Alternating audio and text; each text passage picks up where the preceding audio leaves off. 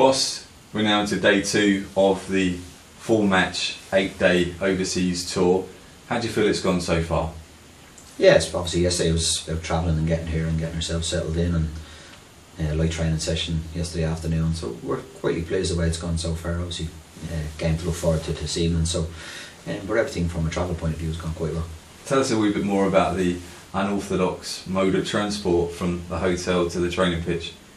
Yeah, obviously the training pitches I think is about maybe two kilometres, two and a half kilometres away. So we've been we've been cycling up there. So uh, part of the warm up routine. So it's it's uh, it's interesting to say the least. Um, some of the lads are not quite as good on the bike as they should be, um, but it's uh, it's led to a good experience, I suppose, for some of them.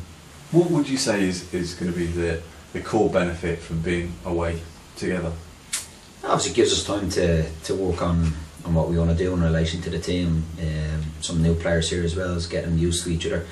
Some young boys as well that have come into the squad and obviously can pick up good habits. So, you know, in, in general, not just what goes on in the park, off the park is important when you when you get pre-season, start of season, new players, younger players coming into the squad. So it's about trying to gel that together as well and getting the philosophy of what we want and what we expect from them over the course of the season. Obviously, uh, on the transfer front, can we talk about the situation concerning Isaiah Osbourne's future here at the club?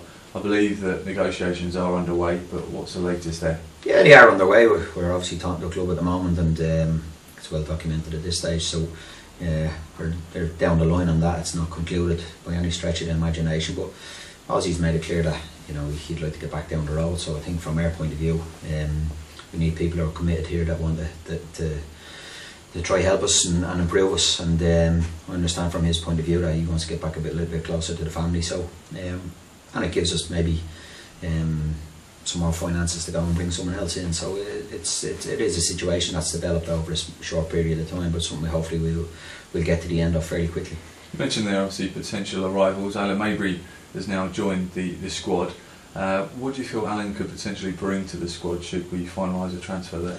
I think he brings a wealth of experience and knowledge of the game, and like I've said before about having good professionals in the club, and he fits the bill and all them, them or fits ticks all the boxes. In fairness to him, and and he's a good player as well, which is a, which is a plus for us. He can cover some positions as well, you know. So there's a lot that Alan can bring to the table. Whether we can get it done, hopefully, you know, by the end of, of or by the start of the season, we you know we'll be closer to doing that. But um, straight to have him around the place, like I said, he is he is a, a very very